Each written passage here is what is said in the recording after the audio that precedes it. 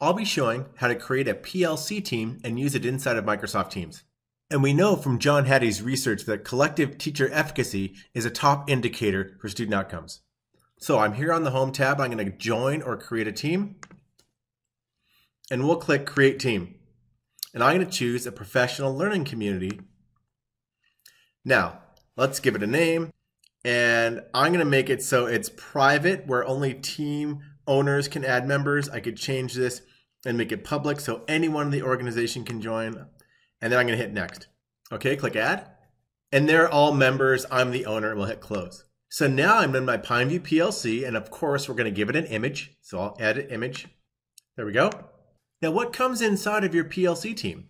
Well, of course you get posts and this is where all your conversations and messages are. So I'll give a welcome message. Hello, everyone. I like to add a sticker. There we go. We have a files tab. So this is where I can upload Word documents, lesson plans, PowerPoints. I could just go to upload here and upload files, or I could actually just create a new file. Maybe I'm going to create a new Word document.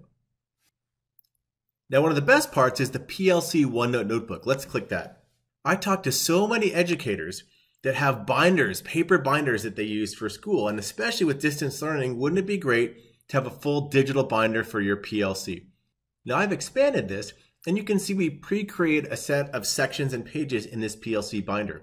So things like creating norms, different roles in the PLC, how can you create goals, and the plan, do, and check is based on the very popular DuFour's model. And so you can have your norms and your roles.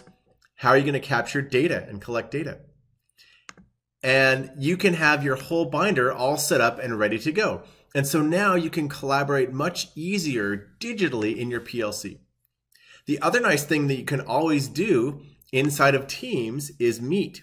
And so if you want to have a meeting with your other PLC members, you can just click the meetings button and then meet now. And so I can meet with other PLC members, I can schedule meetings. All of those things are baked right into this PLC.